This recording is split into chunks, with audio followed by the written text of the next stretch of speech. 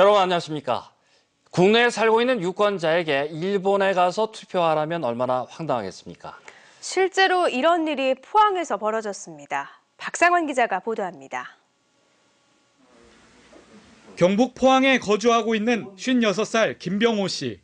총선을 앞두고 집으로 배달된 투표 안내문에 가족 중 자신의 이름만 빠져 있는 것을 확인했습니다. 선관위에 확인해 보니 일본 센다이 총영사관에서 투표해야 한다는 황당한 얘기를 들었습니다. 올해 외국에 나간 적도 없는데 거주지가 후쿠시마로 돼 있었기 때문입니다. 그게 부재자 신고를 받고 나니 난 황당한 거예요. 내가 작성한 적도 없는데.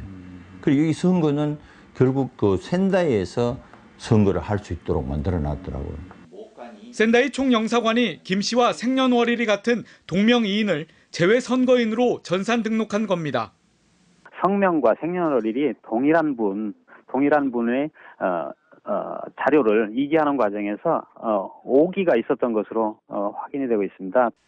선관위의 조치로 다행히 김 씨는 투표할 수 있게 됐지만 자신의 개인 정보가 외국에서 잘못 처리됐다고 생각하니 불쾌한 마음을 지울 수 없습니다. 이런 서류 한 장이 날라와가 내 선거가 정지될 정도 같으면은 난 되게 허술하다는 얘기라. 이 주민등록증이 왜 필요하고 여권이 왜 필요하냐 이거지 난. 최근 실시된 20대 총선 재외국인 투표율은 41.4%로 4년 전 19대 총선 투표율 45.7%보다 떨어졌습니다.